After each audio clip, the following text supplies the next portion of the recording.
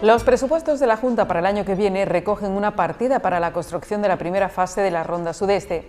Se trata de una infraestructura vital para el desarrollo de la ciudad y para mejorar su movilidad. Esta vía conectará la rotonda de las piscinas municipales con la que se construye en estos momentos junto al tanatorio. Bienvenidos a Diario Comarcal. En unos instantes les ofrecemos todos los detalles sobre esta actuación. Antes les resumimos en titulares otras noticias de la jornada.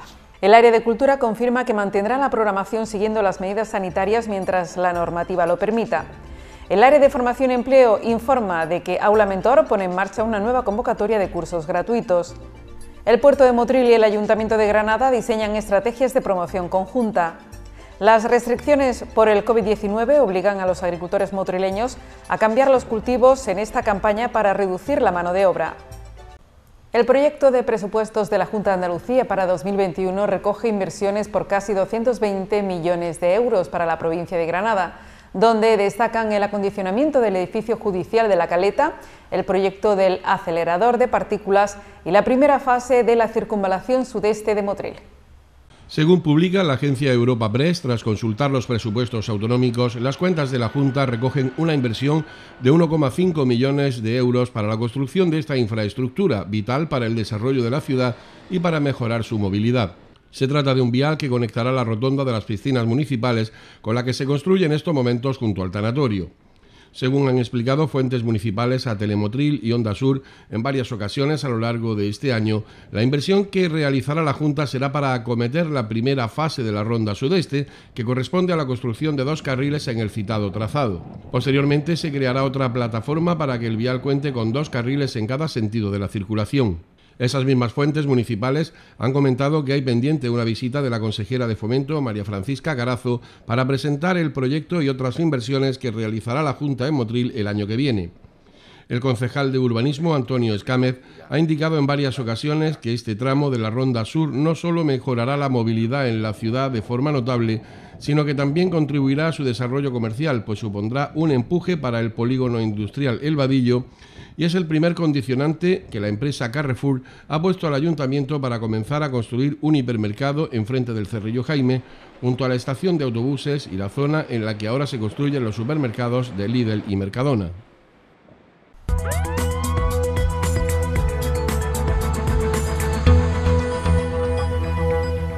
El área de cultura confirma que mantendrá la programación siguiendo las medidas sanitarias mientras la normativa lo permita. Así, el sábado el concierto de Fran Perea en el Calderón se adelantará a las 8 de la tarde para cumplir con las instrucciones de la Junta y para que los asistentes puedan estar en sus hogares a la hora del toque de queda.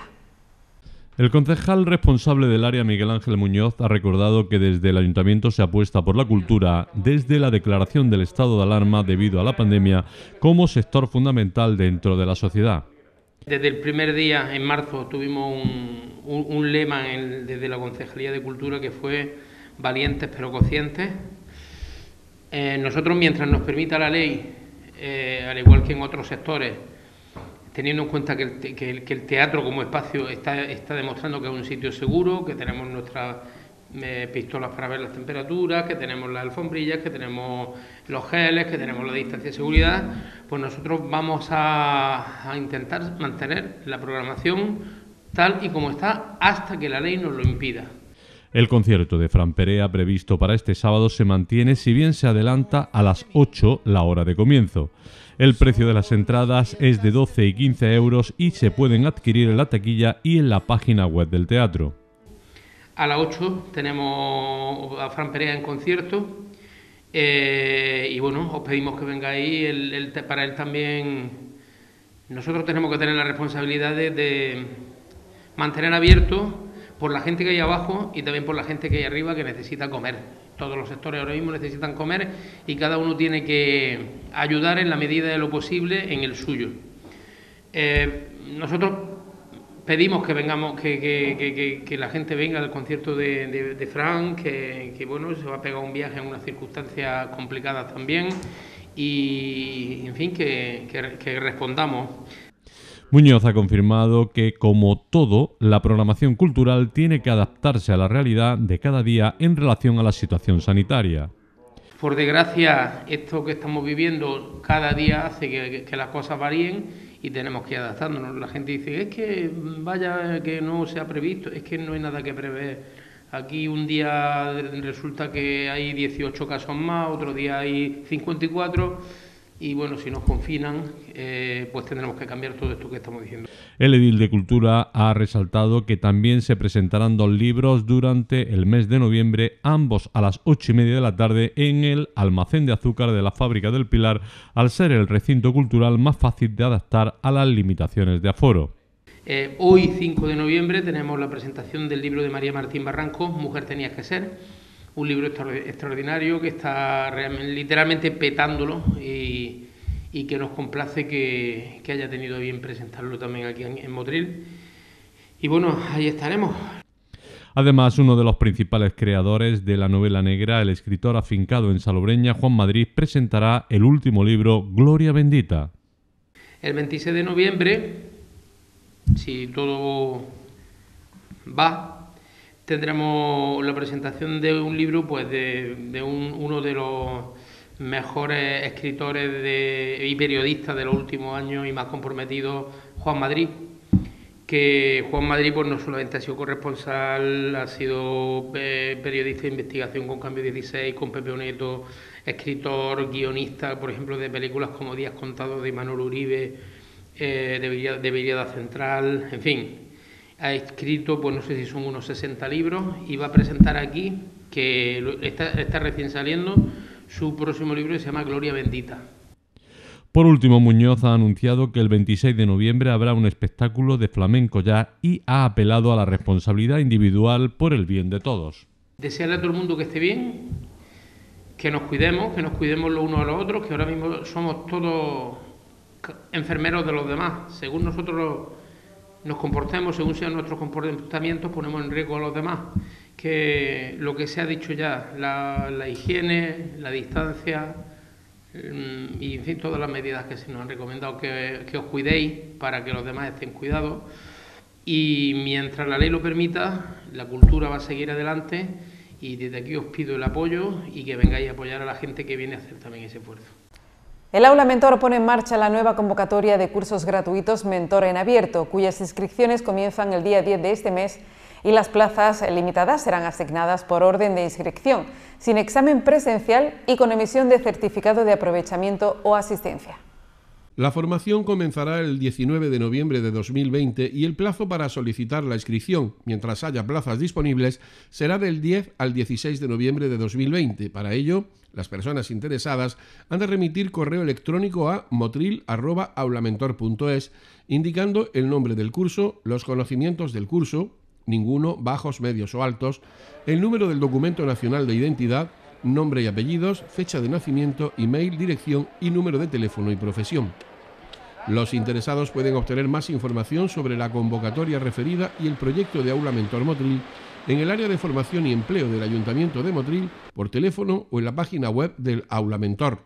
En esta nueva convocatoria, los interesados podrán matricularse gratuitamente en Introducción sobre el sistema operativo Linux, Introducción a Internet de las Cosas, Introducción a la Ciberseguridad, Emprendimiento Digital e Iniciación y Administración de Salesforce.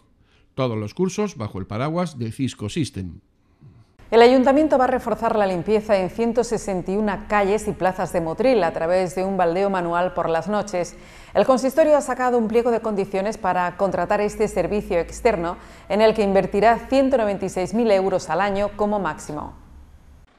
Las empresas interesadas podrán presentar sus ofertas hasta el 12 de noviembre en el registro del ayuntamiento ubicado en la calle Cardenal Belluga, aunque la información de los pliegos de condiciones solo se podrá obtener hasta el día 19. Las zonas en las que se realizará este baldeo son el centro, la Rambla de Capuchino, Avenida de Salobreña, Calle Nueva, Avenida de Andalucía, el Camino de las Cañas, Avenida Rodríguez Acosta, la Huerta de la Condesa, Los Telares y Los Pisillos. Se trata de zonas en las que el ayuntamiento ha detectado que es necesario profundizar en la limpieza.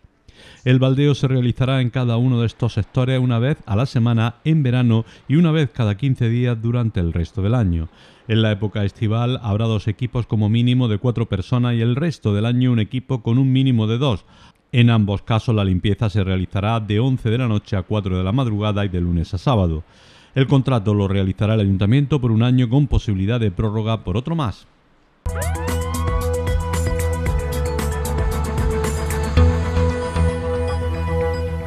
El Ayuntamiento de Granada ha acogido una reunión de trabajo en la que responsables y técnicos del consistorio granadino y del puerto de Motril han comenzado a diseñar estrategias turísticas de promoción conjunta dentro de un plan de actuación que se enmarca, a su vez, en el convenio recientemente firmado entre ambas entidades. Su objetivo es lograr que, una vez se reanude el turismo de cruceros, Granada esté preparado para ser el primer destino elegido por las navieras por la calidad y diferenciación de su oferta.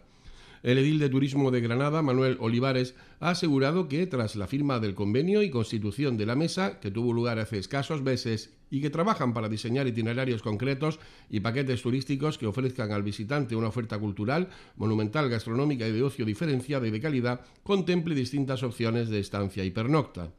Para el concejal, el objetivo último del proyecto, que ahora arranca, es adelantarse, aprovechar ese tiempo en que no hay tráfico de viajeros marítimo por la pandemia, para diseñar y definir los productos, servicios, vías de comercialización y, en definitiva, estrategias de promoción para que, una vez que se vuelva a la normalidad, Granada sea destino preferente y primero de los cruceros premium.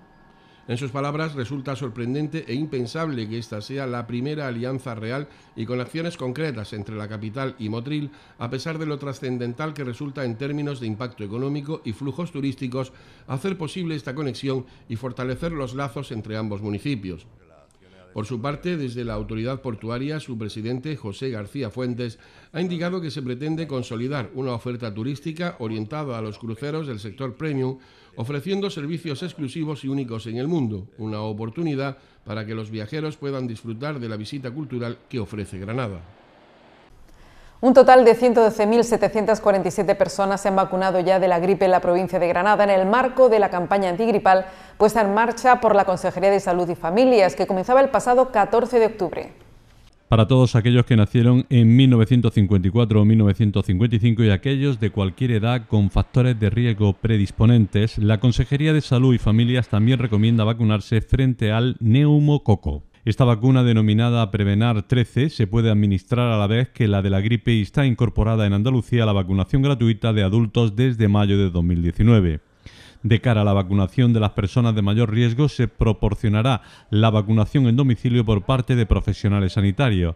Este es el caso de mayores de 75 80 años, pluripatológicos, convalecientes y altas hospitalarias que tengan dificultad de acceso al centro sanitario por su estado de salud o situación de deterioro funcional o cognitivo.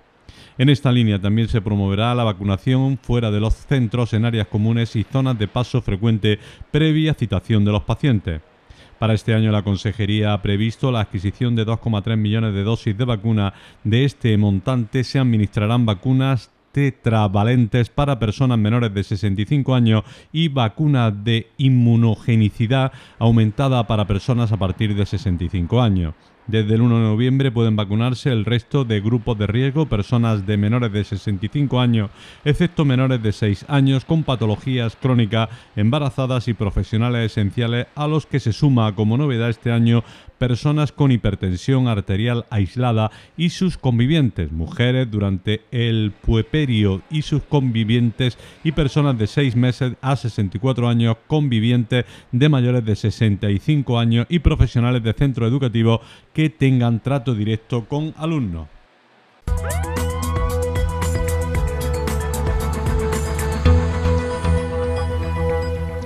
Las restricciones por el COVID-19 obligan a los agricultores motrileños a cambiar los cultivos en esta campaña para reducir la mano de obra, según explicó el secretario general de COAC, Miguel Monferrer, anoche en el programa Sector Primario. Monferrer recordó que ya en la primera ola de coronavirus tuvieron problemas para encontrar trabajadores agrícolas y desplazarlos a las explotaciones. Este año, por las predicciones que hay, el cherry va a bajar un poco las hectáreas, eh, que la verdad que el agricultor, el tema de la carga de mano de obra, Estamos todavía con la pandemia del coronavirus, no sabemos este año lo que va a ocurrir y vamos intentando pues, meter otros productos, sobre todo mini vegetales, pero dentro de los mini vegetales, pues bueno, el pimiento, hay varias, muchas hectáreas, hay muchas empresas que están dando el, pimiento del padrón, mini pimiento, pimiento que no es italiano ni es el pimiento lamullo, o sea, pepino, pepino no solo el pepino tipo almería o el mini pimiento, el mini pepino, sino también un pepino mediano que también es verdad que los mercados lo están aceptando bien. Monferrer añadió que los mini vegetales son cada vez más demandados, sobre todo en el resto de países europeos.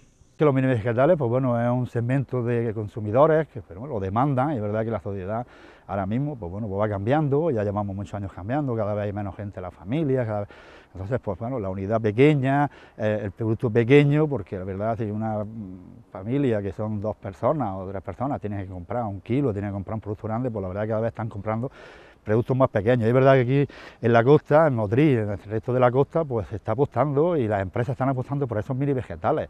El responsable de COAG comentó que los agricultores motrileños buscan diversificar sus producciones para asegurarse la campaña. En tema de cultivos, que, pues, que los agricultores estamos diversificando cada vez más, eh, por varios sistemas, ¿no? uno porque bueno, por, la competencia de la de otros países, porque están introduciendo más, más productos y luego también la mano de obra, que también es importante, para ir reduciendo mano de obra. Más o menos los cultivos que aquí en la costa siempre tradicionalmente se están cultivando, los dos principales son el tomate cherry en todas sus variedades, colores y formas, y luego también pues bueno, pues el pepino, tipo de pepino tipo almería o tipo holandés, que también pues bueno, es uno de los el segundo cultivo más importante aquí en la costa, y luego también, pues bueno, pues hay, dos, hay dos temas de calabacín, de pimiento, de habichuela, también sobre todo judía también se está incrementando cada vez más. Monferrer también hizo hincapié en que los agricultores motrileños cada vez se decantan más por las producciones ecológicas. Los mercados europeos y nacionales están cada vez demandando, consumidores están cada vez demandando más productos ecológicos y los agricultores se los ofrecemos. Y es verdad que tenemos pues bueno, un clima, aunque está dentro del invernadero que parece o suele parecer, o, puede, dar la, impresión de que no es un producto ecológico dentro del invernadero, pero sí, es verdad que los tratamientos que se da y el cultivo que se da, pues bueno, aunque estén bajo plástico, que no es, el, plástico lo único que da es un abrigo y es una, es una cubierta para, para bueno, por las inclemencias meteorológicas. El consumidor también demanda cada vez productos más sanos, productos que tengan menos pesticidas o que tenga un tratamiento con el medio ambiente pues más, más, más, más se puede decir, pues más sostenible. La entrevista completa podrán verla en el programa Sector Primario el sábado a las 11 de la noche en Telemotril y en cualquier momento en el canal que Telemotril tiene en YouTube.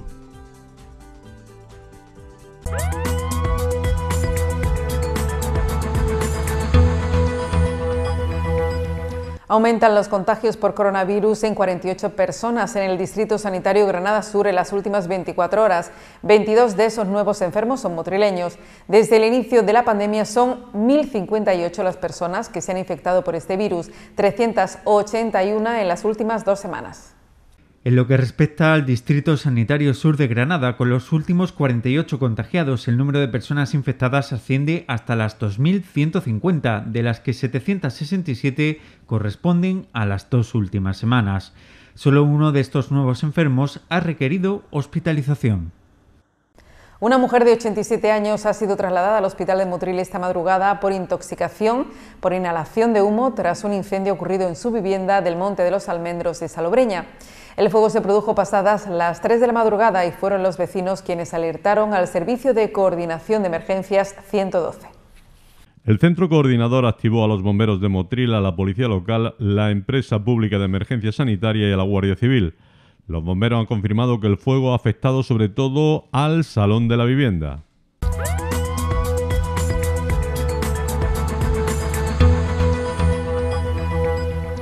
El PSOE de Motril ha denunciado la desastrosa organización de la campaña de vacunas contra la gripe de la Junta en Motril, que se realiza en el Centro Municipal de la Matraquilla, en la Plaza de la Coronación.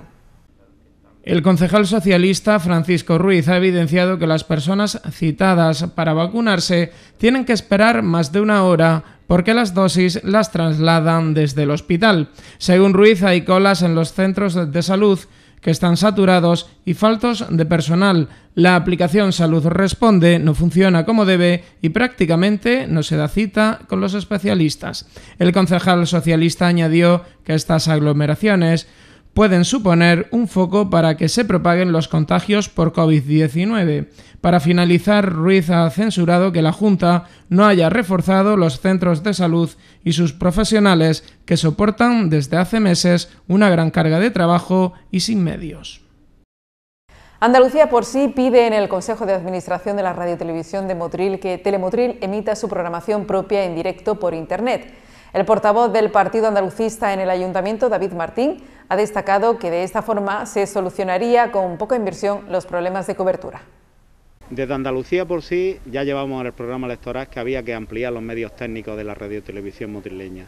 En pleno siglo XXI hay nuevas tecnologías como streaming de emisión para poder eh, visualizar los telediarios y la programación a través de Internet, de la página web o de canales de YouTube, por ejemplo. Martín se ha sumado a la petición para que también los plenos municipales se emitan en directo a través de la página web y del canal de YouTube de Telemotril. Ya en el último pleno añadimos a la puntualización de otro grupo político a la alcaldía de que se estudie la viabilidad económica y técnica para dotar de nuevos equipos informáticos que puedan hacer mm, factible esta emisión en streaming. Ahora en el pleno que se ha aplazado, un grupo político llevaba una proposición para que se emitan los plenos en, directo. ¿Cómo no? Nos unimos a ello, ¿no? Finalmente, David Martín ha recordado que desde su formación política defienden el valor y la necesidad de tener unos medios de comunicación de titularidad pública, en este caso dependiente del ayuntamiento. Todo lo que sea mejorar la calidad de, de la emisión hacia nuestros vecinos y vecinas va a contar con nuestro respaldo. Así también quiero aseverar que todos los trabajadores y trabajadoras de la radiotelevisión motrileña tienen nuestro cordial apoyo, nuestro respeto, porque nosotros valoramos todo el esfuerzo humano y técnico que están haciendo para emitir y que le lleguen las noticias a toda la ciudadanía. El Comité de Empresa y las secciones sindicales del Ayuntamiento han censurado la forma en la que el consistorio ha gestionado las tres bolsas de trabajo organizadas para cubrir las bajas del servicio de limpieza en distintas áreas como conductores, operarios de interiores y exteriores. El comité de empresa y las acciones sindicales afirman que las solicitudes fueron masivas, generando colas en el registro para entregar la documentación exigida y en la mayoría de los casos las personas tuvieron que pagar tasas y comprar temarios para preparar los exámenes de ingreso. En un comunicado informan que las personas contratadas no han cubierto ni la mitad de las bajas que hay en el servicio. Los nueve trabajadores de la bolsa que se incorporaron lo han hecho al servicio de limpieza viaria de exteriores y a día de hoy de esos nueve solo quedan tres mientras que para cubrir las vacantes del servicio de interiores no se ha contratado a nadie. El ayuntamiento ha contratado una empresa privada para las labores de desinfección en los colegios y aunque es cierto que en ningún momento van a sustituir bajas laborales, es innegable que esto aumenta la frustración de los componentes de la bolsa. A esto hay que sumarle que la puesta en marcha del plan de contratación denominado Plan Aire en la práctica ha anulado las tres bolsas, puesto que todas las contrataciones se están realizando a través del mencionado plan de empleo de la Junta. A pesar de esto último, no se están cubriendo las necesidades de personal en ninguno de los dos servicios, exteriores e interiores, y en el caso de la Bolsa de Empleo de Conductores aún no se ha activado.